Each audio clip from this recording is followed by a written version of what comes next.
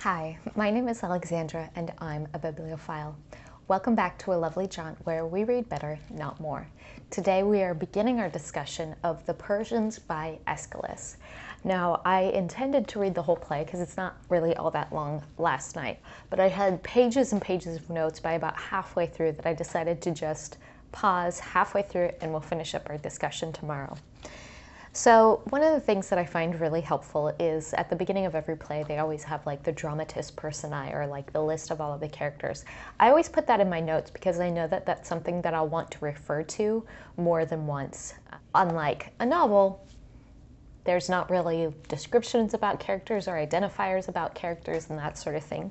And in fact, even for Greek plays, the identification was not obvious upon first blush. And a lot of times these plays are being performed for the first time for this competition. So what you'll see is that the, in the opening lines, they have to announce who they are, or uh, another character will announce them. So for this play, it opens with the chorus, and they come out and say, we're, we're the like Persian elders. We're the sort of council of elders and here in the palace of Susa, right? And so they kind of just like have to announce themselves so that the audience can know who they are and what's going on. Already from the beginning, we see that emphasis on cultural difference. We have repeated language around the mourning of a widow. That you're going to use this imagery a lot of the, the widow who is mourning, which is both a literal and uh, takes in a more expansive meaning. It's literal on the level that a lot of their men will die in battle, and so there's going to be widows in their society. But it's also more expansive because they use that imagery to sort of express the grief of the nation as a whole. Um, there's an emphasis also on monarchy throughout these opening lines, where again, there, this play is very empathetic to the plight of their very own enemy, their very own recent enemy. And it's taking that really empathetic view. And it reminds me even of the video that I did of empathetic Hector in my Iliad series. So theoretically, the Greeks who are telling this story about this Greek victory are most empathetic to the Greeks. But what we see is actually that we have a very empathetic view of Hector, one the best warrior on the opposite side, and even of the women and their experience being among the defeated peoples. And we see that kind of trend happening here too. This must have been something that the Greeks meditated on a lot. Anyway, but so they're not really othering or exoticizing their opponent or saying that they're bad or poo-pooing them as people, but what they are doing is sort of making, what we do see in this play is like making the argument that democracy is superior to monarchy. And that's a theme that's going to come up more than once. The list of foreign names, when we sort of go through and list all the generals and warriors from the Persian side, again serves to emphasize that cultural difference because uh, Aeschylus is writing these very non-Greek sounding names on purpose and putting them all together in this sort of litany of, of men. The wrong way. They spend a long time talking about how large their forces are, how much larger the Persian forces are than the Greek forces were. And it reinforces this idea that this is something of divine proportion, of divine intervention, that the Greeks would not have won if the gods hadn't ordered it, which means that the Persians have done something very wrong for the gods to sort of like come against it so strongly. The opening speech also includes the first reference to the idea that they want to put a yoke of slavery upon Greece. So I mentioned it in my last video, but this Greek word that has to do with links, with chains, uh, but can also be translated as yoke. And he's going to use this word over and over again to um, reinforce this symbol. And in fact, symbolism is one of my favorite tools in literature for this reason. It symbols, unlike metaphors or similes where you have like a one-to-one relationship. With symbols, you have a one-to-many relationship. So for example, the moon can symbolize many things. It can symbolize love. It can symbolize um, virginity because it's associated with the goddess Diana. It can, first, it can symbolize inconstancy because the moon waxes and wanes. It can symbolize coldness and distance because it's, you know, silvery and in the distance, you know, and you only see it at night. Um, which nights are generally colder than days, right? And so there's these multiplicity of meanings that you have associated with the moon. And the same thing is going to be true for this word zeugma. You're going to have these multiplicity of meanings, but where a symbol becomes really, really powerful is not that the meanings fan out, but that they stack on each other. And it's you can see it, think of it almost as like a Venn diagram. And the areas where the symbols overlap is that precise meaning as the sort of, that's such an inappropriate way for me to, but where the sort of symbols and the language overlaps is that precise meaning. When you layer, you know, three, four, five different types of meaning on top of the symbol, where it all sort of coalesces and collapses down on itself is where, you know, the the writer of the story or the writer of the play in this case is sort of uh, specifying, getting actually increasingly specific in their meaning. It becomes actually more restrictive, not more expansive, if you will. They also describe the bridge that is constructed across the Hellespont. It's another instance of yoking um, slash linking. They actually use both of these words in this translation, um, at least. So they also refer to the ocean as a blue murderous serpent. And we talked about how powerful this image of a serpent was like out in the oceans with uh, Jormungandr actually in the Norse mythology when we talked about the cosmology that they have. Jormungandr is that big serpent that goes around the whole ocean of Midgard. Well, we have that same imagery being repeated here in a totally unconnected culture. They had no contact with each other, separated by time and geography, using that same imagery to express this idea of chaos. It's this unconquerable force, it's uh, dangerous. And with that, we see that the defeat of the Hellespont is considered overreaching, that this conquering of this force of nature is considered, you know, this act of ate. And here I can't help but think of Achilles with his battle with Scamandros, where Scamandros is finally like, Achilles, you are whipped up into such a rage. I, why are you fighting with me? I am a god. Like, calm down. Go, like, focus up, dude. Focus up.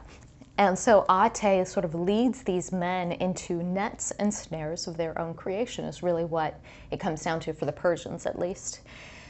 And this is why the elders dread and fear and express mourning, even though at this point in the play they don't yet know the outcome of the battle. Now, here we have a really good example of dramatic irony, where the audience, the Greeks, who are now eight years past the end of this war, they know the outcome, they know what happened, the Greeks won, but the characters in the play haven't learned that information yet.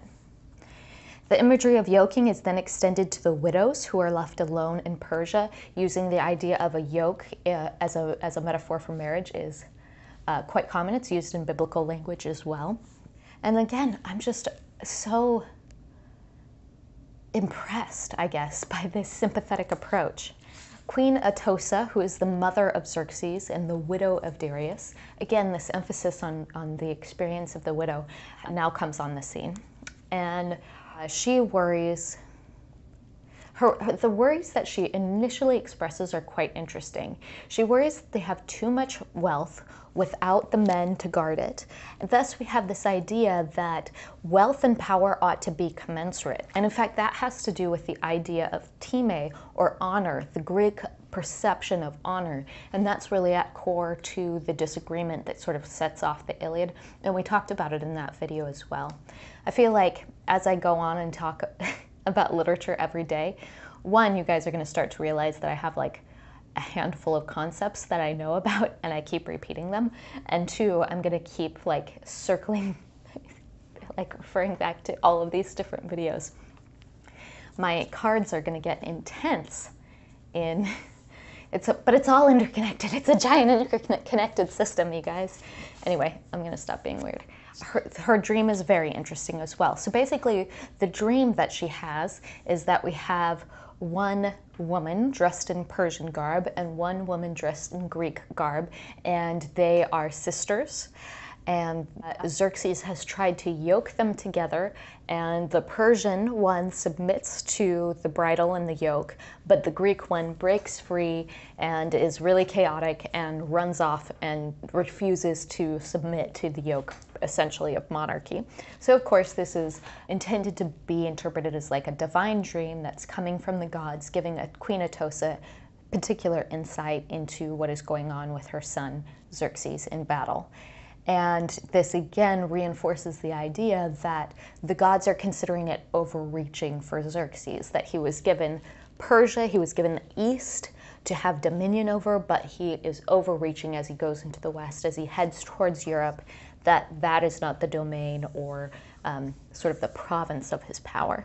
And I think by making these two figures sisters in her dream, it refers to that grander idea that of, of humanity as a whole, that we're all humans together. And even though they come from different cultures, that they're genetically unique, that they're culturally unique, that they're linguistically unique, that they're ethnically unique from one another, distinct from one another, I should say, that they are bound together in this experiment of humanity. And again, of course, extending the imagery of the yoke. I'm going to say it like 16 times in this video. I should do a counter like other YouTubers do, but I won't because I'm lazy. Her religious practice afterwards, where she's sort of making these uh, petitions to the gods, and then she kind of has this, uh, this where she's seeing augurs. For the Greeks, they often interpreted the flights of birds. I have no idea what the Persian practices were of this time because I am a poor historian, but it really just sounds like a duplicate of what the Greek practices were. So if anybody has more knowledge in this area, I'd be really, really curious to know if this is actually a, an accurate representation of what a Persian queen of about the 5th century AD, no, the 5th century BC, I always scramble that up. It sounds like an, it sound like an idiot, but I do know that we're talking about BC um, would have done because this seems Greek to me. Again, we have this negative view of monarchy. Atossa, sort of on her exiting speech, says that if Xerxes fail, he'll still be queen, king, like he can't be held to account. So this idea of like constitutional monarchy, of course, hasn't really come into conception. That's going to come into conception with like common law in England and all of that business. And so this idea that like the, the, that you can't hold justice to the arbiter of justice, who is the king himself, is a, an essential problem for the Greeks as far as they viewed monarchy, and that is coming up here as well. The elders seem to think that the dream could be either meaningless or could be prayed away, so they're not taking it very seriously, even though they came out and said that they had their own worries and fears that the battle might be going awry. One of uh, Queen Atossa's lines, it's line 294, she says, Yet necessity makes us mortals bear the pains the gods bestow. And this relates to that idea of like, how do we deal with suffering in life? Like, suffering is inevitable. Um, the gods are going to give you good things and bad things, and you have to figure out as a human being how to cope with it. Again, there's not a real sense that you're going to pray to the gods. I mean, you might offer up a prayer for the gods to, as, as they suggest, alleviate your suffering, but that doesn't mean that you're going to live, the, live this blessed and charmed life where there's no suffering. We find out that Xerxes lives, but then a long list in contrast of all of the men who died as a result of his hubris, as a result of his overreaching, as a result of his foolishness, right? Uh, and, and in this way, like, how similar is this to like Roland? You know, he goes into battle with this hubris. All of these men die all around him. And even when he comes to like the end of his life and he's about to die himself, he fails to understand really uh, what a contributing force he was to this outcome.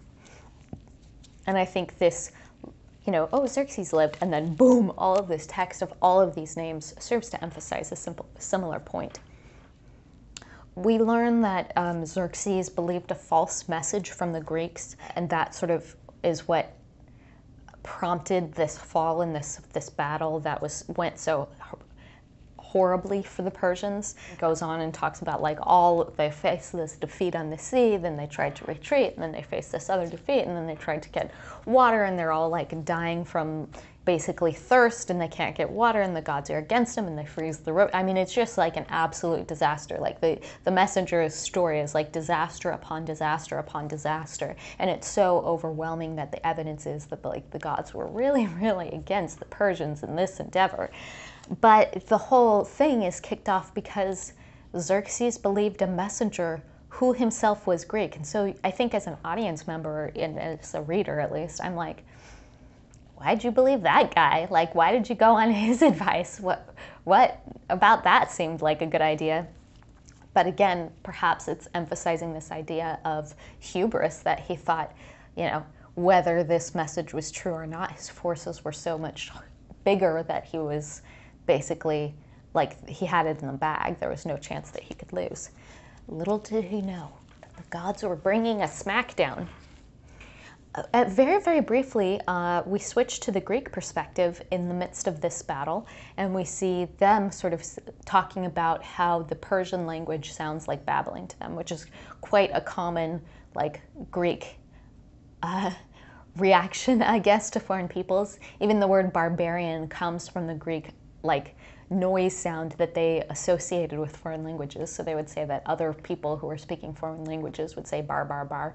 So that's where the word barbarian comes from. At this point, like a new set of imagery comes out in this discussion of how the battle went, which is this imagery of order versus disorder, of chaos versus like just being organized.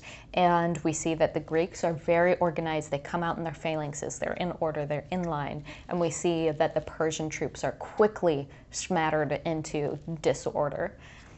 And by the time we get to the end of the battle and the end of the messenger's narrative, there's this sense that the amount of suffering that the gods can bear is so crushing, it's more than a single man can can tolerate. It's more than you can bear in your life. It's like this overwhelming wave.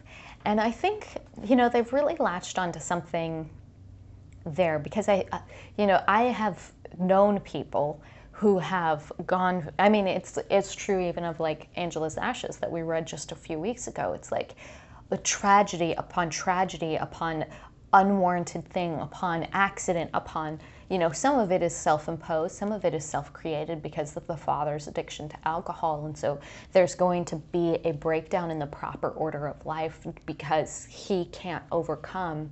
Um, you know this propensity for alcohol and i think this idea that that like the gods kind of bring this that have this capacity to bring this crushing grief, this crushing suffering upon humanity is, is really a true one. I think it's, it's borne out in people's lives more often than we would like to admit. Atossa, Queen Atossa is mad that the elders gave a bad interpretation of her dream, and she also seems to think that Xerxes could still have the potential of making things worse. She fears that he hasn't been properly humbled by this experience. And then there's another long exploration of the widow's grief. Um, and this becomes a vessel for their grief examination, as I talked about, and it becomes even more palpably clear in this particular passage. And here we get this idea of the communal experience of grief and these lines of these, these lines are so moving that I think it's really easy to see the cathartic effect of these plays. And one aspect that I didn't talk about in my introduction to the, trip, the plays, which I really should have, is that well, uh, the structure is that they would do three tragedies. Usually they're interconnected plays like we have with the Oresteia, and then they would do one Satyr play, which is a comedy. And the idea that you would sort of, as a group, experience this grief through the tragedy and experience this comedy through watching this Satyr play was like a process of sort of like expunging the communal emotions and that it was really, really healthy for them as a society to do. And when you read a play like this, like I think it's really easy to see how he would just have a, an audience of crying people sort of like bawling together. We also see that with loss of life comes loss of power, and this kind of correlates to that same idea where Atossa is meditating on the fact that they have all this wealth but no men to guard it. Atossa also meditates on the changing winds of fate, the idea of Lady Fortuna, fort- the wheel of fortune, if you will. She has a wheel, and the best place to be is in the center. So even as the revolutions of life go around, you're not disturbed too much. But if you're on the outside towards the edge of the wheel or on one of the spokes or something, you can be up and you can be down. Um, and so if you have a lot of influence, a lot of power, a lot of wealth, you're on the outside of this wheel, that means you can come crashing down the response, the proper response is what we see her doing is to take a position of humility. She takes off her fancy robes and puts on plain clothes. She begins this mourning process. She begins this self humiliation process. and Atossa's, Atossa's offering to raise the ghost of Darius. I'm going to pause here right before the ghost of Darius comes on the scene. It just reminds me so much of what Odysseus's process was when he went to the underworld and he was calling up the spirits himself. So again, I think there must have been sort of a an agreed upon set of imagery or set of offerings that someone would do to call up the dead in Greek conception. I don't know if this is something that they did very often or if it was something that only appeared in mythical stories. I have a feeling it's not really part of their day to day religious practice, but I'd be curious if somebody does know if they could comment that down below. And until next time, hi, it's me again. And the light in my office has changed because I spent like maybe the next 40 minutes since I just finished filming finishing the play. There actually was like very little left. And I only have a couple of notes so I think I'm actually going to wrap this into the same video. And we will talk about the whole play. I'll give you my final thoughts on the ending and I'll read something else for tomorrow. I'll read some more. I don't know what yet so we find that once Darius is sort of raised from the dead, that the chorus is unable to speak to him. And so Darius turns to his queen, Queen Atossa. And this really shows her power and her competency in the midst of these elders who we have already seen are a little bit foolish, who have given a bad interpretation of her dream, who have potentially been bad counselors for Xerxes himself, maybe, speculating here. But Queen Atossa is the one with competency and authority able to meet the spirit of Darius and have a conversation with him. As they're sort of discussing the, you know, unbridled hubris of Xerxes' attempt to cross the Hellespont to um, attack by sea and by land and his horrible defeat, they say, surely some God had got a hold of his wits. And this is a really good example of the God within versus the God without. Earlier, I mentioned how the gods had sort of frozen over the rivers, which caused the men to really suffer and die of thirst. They had to pray to the gods to, and that's a really good example of the gods without. These like forces that are outside of ourselves that we can't really explain without you know, talking about the gods, or like the ancients felt that they couldn't explain without putting a supernatural power to it. But there's also the God within, and that was like my example in my video yesterday where I talked about how Aphrodite could take you over with lust. And it's like this desire that is completely unconscious, you know? It's when you're attracted to someone, it's not on purpose. You kind of can't help who you are and who you aren't attracted to. And this is sort of another way that they're explaining or exploring this idea of this pride that Xerxes is expressing. Atossa also says that Xerxes had bad companions who urged him on, who gave him bad counsel. There's a lesson there. But there's also, you know, an implied, and it even goes on, again, further criticism of monarchy through this play is that you know it shows the vulnerability of the monarch and therefore the whole country because a king is just as likely as anybody else to be fallible and can be led astray by bad counselors by gods by his own desires. But the consequences are so much worse for someone who has such great influence and then after this, we see that the spirit of Darius returns to the underworld. Queen Atossa, you know, is given this advice by Darius that her son is in tatters and in rags to go find him suitable robes for the king to wear. But before she can return or intercept Xerxes, Xerxes come on stage, and so he's still in his tattered rags. And this is emblematic of the state of his empire. He sort of becomes the, you know, the representative of his state. And it's also for a dramatic effect, and it's very effective. And then we go into yet some more dialogue between himself and the chorus, expressing this grief, expressing this woe, sort of mourning the loss of various companions. And I just can't help but think that this play must have been very moving for people like Aeschylus who had experienced that conflict. That's the end of my conversation and discussion on this book, uh, or on this play, I should say. Uh, and I hope you enjoyed it. I really enjoyed reading The Persians. I was really moved by the play. I can see why it's been so enduring and something that we return to when we talk about the ravages of war. And um, anyway, I highly recommend it. I hope you enjoy reading it as well. And I have no idea what I'm going to read tomorrow. Okay, now I'm really leaving this time. Bye.